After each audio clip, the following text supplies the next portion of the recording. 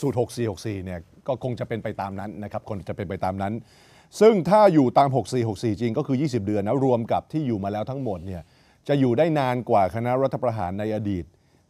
ได้กี่คณะนะครับประชาไทยเขาสรุปได้ดีทีเดียวนะครับในลิงก์นี้นะครับผมอ่าน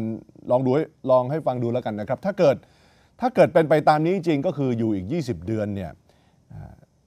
ยังสู้จอมพลสฤษดิ์ธนรัตน์นะครับที่ทำรัฐประหารในปี 2500 ที่ล้มรัฐบาลจอมพลปพิบูลสงครามไม่ได้นะครับเพราะว่าตอนนั้นอยู่ระหว่างปี 2501 ถึง 2512 11 ปีนะครับ11 ปีนะครับก็ไม่ยังยังยังไม่ยังไม่ถึง 11 ปีนะครับ แต่ว่าจะมากกว่าคนอื่นหลายคนนะครับ 21 เดือนนะฮะอันนี้ 23 เดือนเนี่ยต้องสมัยที่ จอมพลถนอมกิติกจรยึดอำนาจรัฐบาลตนเองนะครับ อันนั้นคือ 17 พฤศจิกายน 2514 ถึง 15 ตุลาคม 2516 แล้วก็จะนานกว่า 12 เดือน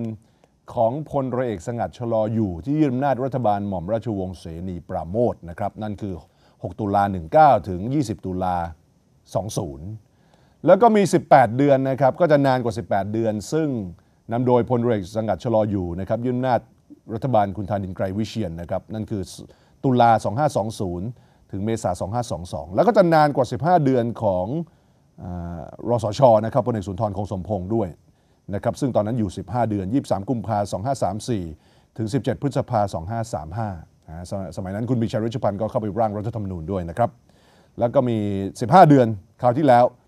นะครับ 19 กันยา 49 ถึง 23 ธันวา 250 เพราะฉะนั้นก็จะนานถ้าอยู่ 20 เดือน อีก 20 เดือนจริงเนี่ยท่านพลเอกประยุทธ์ก็จะอยู่นานกว่า แทบจะทุกทุกคณะที่ผ่านมายกเว้นจอมพลสฤษดิ์ซึ่งอยู่ 11 ปีนะครับ อันนี้สรุปตามข้อเท็จจริงทางประวัติศาสตร์ ประชาไทยเขาทำกราฟิกให้ดูได้ดูเข้าใจง่ายทีเดียวนะครับ